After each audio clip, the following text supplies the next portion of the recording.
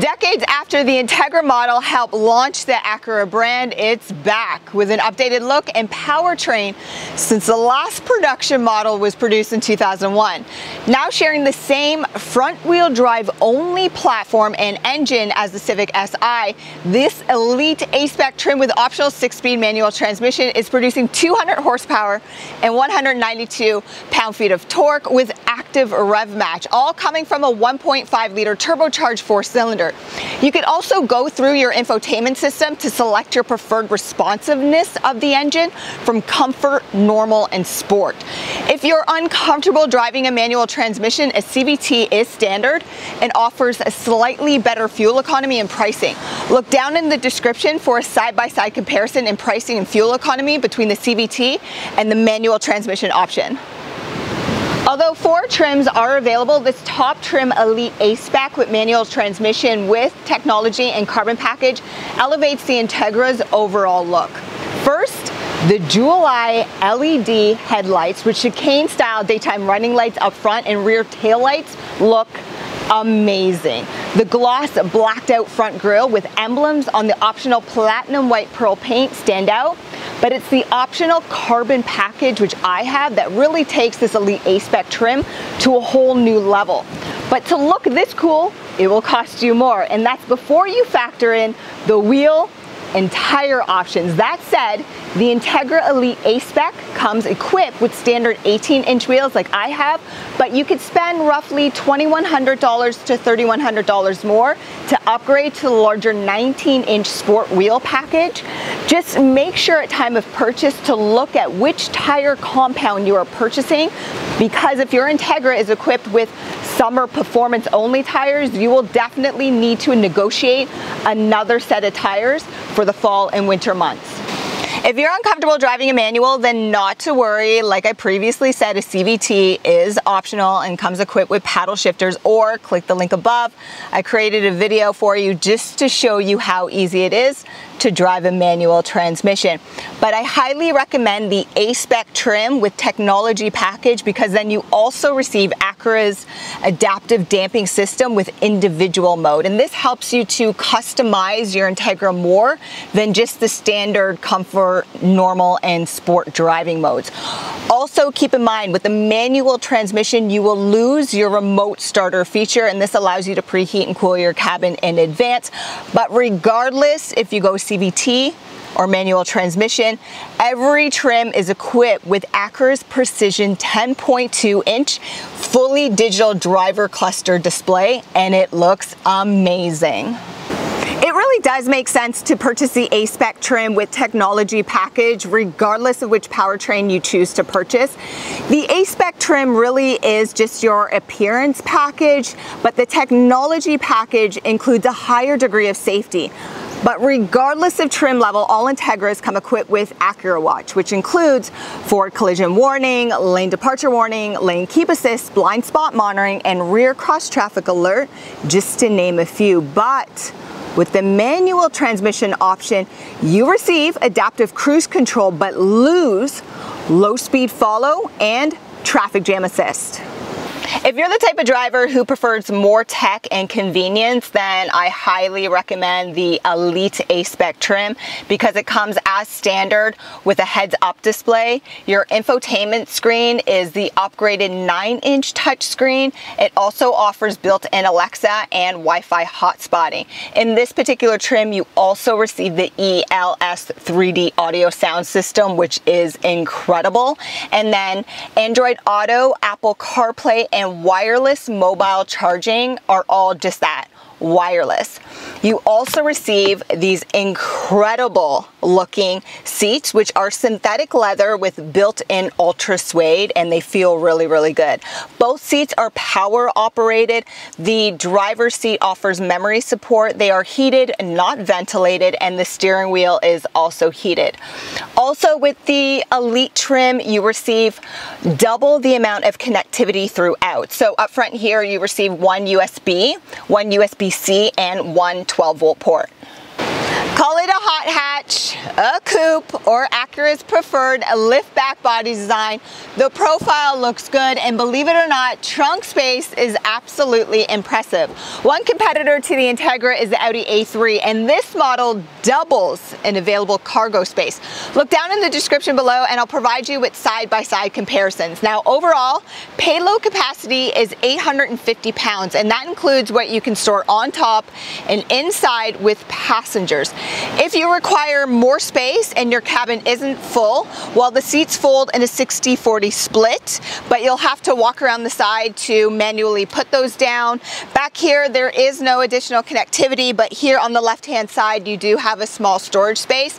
And then underneath your trunk floor, you'll find additional small space for items and your tire mobility kit. The Integra is classified as a five-seater compact sports sedan, but let's be honest. Two individuals are gonna fit comfortably back here unless you have a small family. So if you're familiar with my channel, you know I'm only five foot three, so I'm really short and I usually never complain about leg or head space, but if you have taller teenagers or you travel with a taller adult guests, it's gonna get tight. Now these seats back here are heated in the Elite A-Spec trim, but only on the exterior positions to turn on the heating for your seat. Just use the button located up here. Um, they are also fixed, so they don't move forwards and backwards. They only recline, as I've already demonstrated. As for storage, again, as you would expect from a compact sports sedan, it's really small and narrow on the side of those front doors and your front center console really, really small. And then back here, of course, you can only fit one cup or one bottle on either side. And when nobody's sitting in the middle, you can take advantage of your two traditional cup or bottle holders. Behind only the front seat passenger, you'll receive a pretty decent sized pocket, but there is no pocket behind the driver's seat, which is a preference of mine because then there's just less distraction. And previously I mentioned how in the Elite A-Spec trim you receive additional connectivity, and that is true. Back here you receive two USB ports. Remember to look down in the description. I provide you with all your shortcuts, making your purchasing decision easier for you, and you'll be able to see side-by-side -side comparisons to the Acura Integra's competitors. Now, last few features before I hit the road. I've already mentioned that these seats in the Elite A-Spec trim are power operated and heated, not ventilated, and your steering wheel is heated. Across all trims, you receive a small sunroof. So this sunroof is manual to open and then power operated. The steering wheel does offer some pretty good character for a small sports sedan. On the left-hand side, you'll find your voice commands and the buttons for your audio sound system, and you'll be able to customize the left-hand side of your fully digital driver cluster. On the right-hand side, this is where you'll find your adaptive cruise control settings, and you'll be able to customize the right-hand side of your fully digital driver cluster.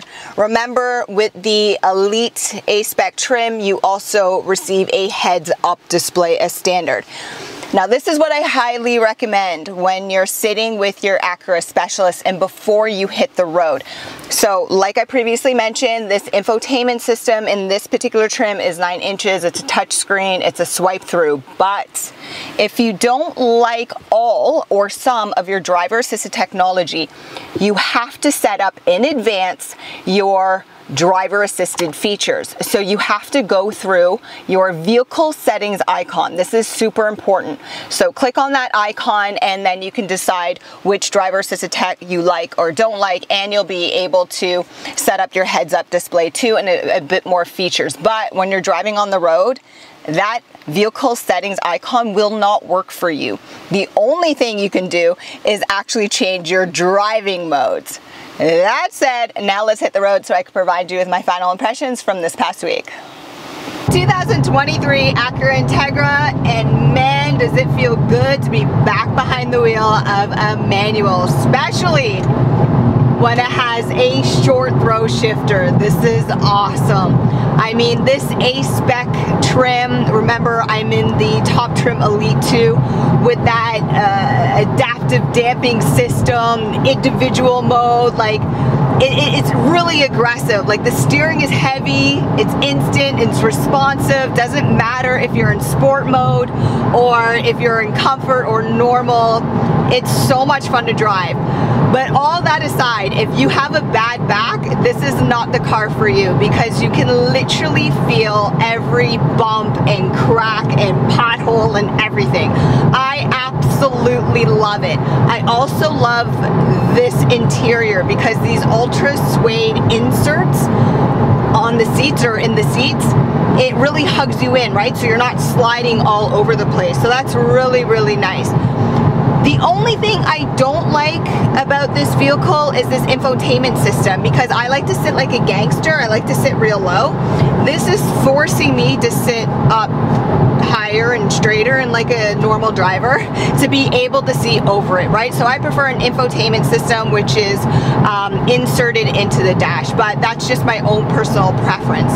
As for the rest of the visibility, it's good at the front and the sides. There's no blind spot. I mean, let's be honest, small, compact uh, sedan, right? But remember, you do have blind spot monitoring and remember, you have to go through your infotainment system to set up your driving assisted technology preferences because you cannot play with it when you're driving, right? So huge thing to remember right there. But overall, I love it. If, if you're not familiar with manual, I highly recommend that you watch my video teaching you how to drive a manual because it's easy. I mean, the CVT transmission, I mean, yeah, it's supposed to be more affordable and fuel efficiency or fuel efficient, I should say, but this is just so much more fun. And then lastly, noise quality. It's loud in here. I'm, I'm not speaking loudly because I want to. It's just so you guys can hear me, right? But what I like to do in all my videos is recommend a test drive because test drives are complimentary. Don't forget to look down in the description and make your purchasing um, experience easier for you. And while you're down there, make sure you subscribe and hit that notification bell so you don't miss How To Tuesday or Feature Car Friday. Thanks for watching, guys.